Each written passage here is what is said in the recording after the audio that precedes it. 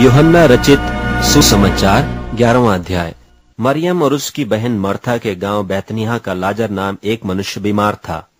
यह वही मरियम थी जिसने प्रभु पर इत्र डालकर उसके पांवों को अपने बालों से पोछा था। इसी का भाई लाजर बीमार था। सो उसकी बहनों ने उसे कहला भेजा कि, हे प्रभु, देख, जिससे तू प्रीति रखता है, वह बीमार है। यह सुनकर यीशु ने कहा, यह बीमारी मृत्यु की नहीं परंतु परमेश्वर की महिमा के लिए है कि उसके द्वारा परमेश्वर के पुत्र की महिमा हो, और यीशु मर्था और उसकी बहन और लाजर से प्रेम रखता था। सो जब उसने सुना कि वह बीमार है तो जिस स्थान पर वह था, वहाँ दो दिन और ठहर गया। फिर इसके बाद उसने चेलों से कहा कि आओ, हम फिर यहूदिया को चलें। चेलों ने उससे कहा, हे रब्बी, अभी तो यहूदी तुझे पत्थरवाह करना चाहते थे और क्या तू फिर भी वहीं जाता है? यीशु ने उत्तर दिया, क्या दिन के बारह घंटे नहीं होते?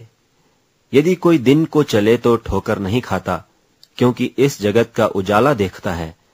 परंतु यदि कोई रात को चले तो ठोकर खाता है, क्योंकि उसमें प्रकाश नहीं। उसने ये बातें कही और उसके बाद उनसे कहने लगा कि हमारा मित्र लाजर सो गया है, परंतु मैं उसे जगाने जाता हूँ। तब चेलों ने उससे कहा, हे प्रभु, यदि वह सो गया है तो बच जाएगा। यीशु ने तो उसकी मृत्यु के विषय में कहा था, परंतु वे समझे कि उसने नींद से सो जाने के विषय में कहा।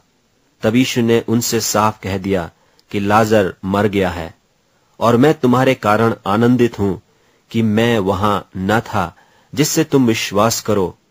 परंतु अब आओ, हम उसके पास चलें। तब थोमा ने जो दिदमुस कहलाता है, अपने साथ के चेलों से कहा, आओ, हम भी उसके साथ मरने को चलें। सो यीशु को आकर यह मालूम हुआ कि उसे कब्र में रखे चार दिन हो चुके हैं। बैतनिया यरूशलेम के समीप कोई दो मील की दूरी पर था, और बहुत से यहूदी मर्था और मरियम के पास उनके भाई के विषय में शांति देने के लिए आए थे। सो मर्था यीशु के आने का समाचार सुनकर उससे भेंट करने को गई। परंतु मरियम घर में बैठी रही। मर्था ने यीशु से कहा, हे प्रभु, यदि तू यहाँ होता तो मेरा भाई कदापि न मरता। और अब भी मैं जानती हूँ कि जो कुछ तू परमेश्वर से मांगेगा, परमेश्वर तुझे देगा। यीशु ने उससे कहा, तेरा भाई जी उठेगा। मर्था ने उससे कहा, मैं जानती हूँ कि अंतिम दिन में पुनरुत्थान के समय वह जी उठेगा।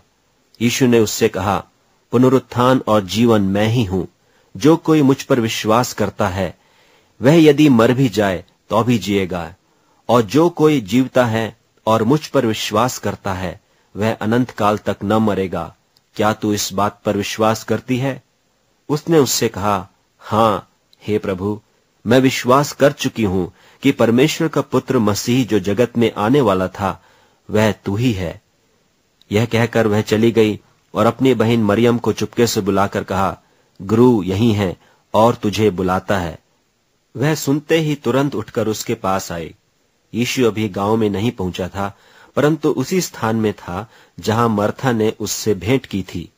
तब जो यहूदी उसके साथ घर में थे और उसे शांति दे रहे थे, यह देखकर कि मरियम तुरंत उठ के बाहर गई है और यह समझकर कि वह कब्र पर रोने को जाती है, उसके पीछे हो लिए। जब मरियम वहाँ पहुँची जहाँ यीशु था तो उसे देखते ही उसके पांवों पर गिर के कहा कि, हे प्रभु, यदि तू यहाँ होता तो मेरा भाई न मरता। जब यीशु ने उसको और उन यहूदियों को, जो उसके साथ आए थे, रोते हुए देखा तो आत्मा में बहुत ही उदास हुआ और घबरा कर कहा, तुमने उसे कहाँ रखा है? उन्होंने उससे कहा, हे प्रभु, चलकर देख ले। यीशु के आँसू बहने लगे। तब यहूदी कहने लगे, देखो वह उससे कैसी प्रीति रखता था।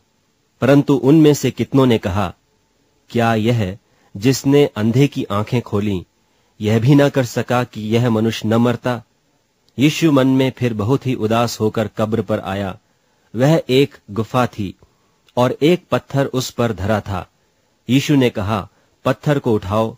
उस मरे हुए की बहन मरथा उससे कहने लगी, हे प्रभु उसमें से अब तो दुर्गंध आती है, क्योंकि उसे मरे चार दिन हो गए।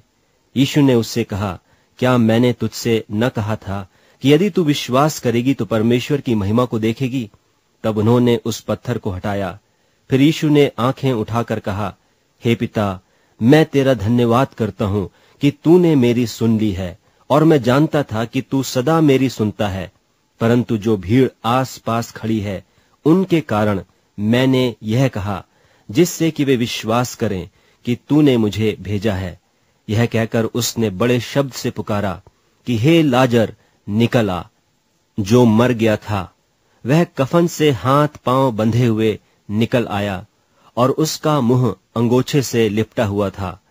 यीशु ने उनसे कहा, उसे खोलकर जाने दो। तब जो यहूदी मरियम के पास आए थे और उसका यह काम देखा था उनमें से बहुतों ने उस पर विश्वास किया, परंतु उनमें से कितनों ने फरीसियों के पास जाकर यीशु के कामों का समाचार दिया। इस पर महायाजकों और फरीसियों ने मुख्य सभा के लोगों को इकट्ठा करके कहा, हम करते क्या हैं? यह मनुष्य तो बहुत चिन्ह दिखाता है। यदि हम उसे यूँ ही छोड़ दें तो सब उस पर विश्वास ले आएँगे और रोमी आकर हमारी जगह और जाति दोनों पर अधिकार कर लेंगे।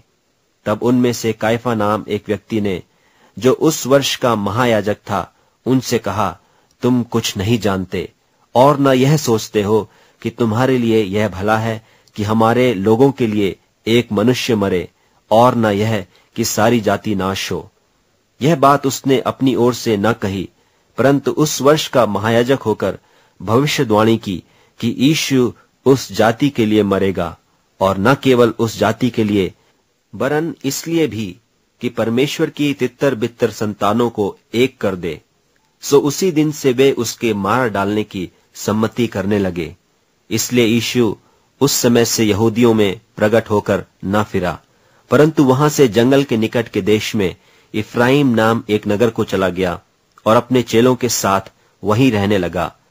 और यहूदियों का फसह निकट था और बहुतेरे लोग फसह से पहले दिहात से यरूशलेम को गए। कि अपने आप को शुद्ध करें। सुबह यीशु को ढूँढने और मंदिर में खड़े होकर आपस में कहने लगे, तुम क्या समझते हो? क्या वह पर्व में नहीं आएगा? और महायाजकों और फरीसियों ने भी आज्ञा दे रखी थी कि यदि कोई यह जाने कि यीशु कहाँ है तो बताएँ कि उसे पकड़ लें।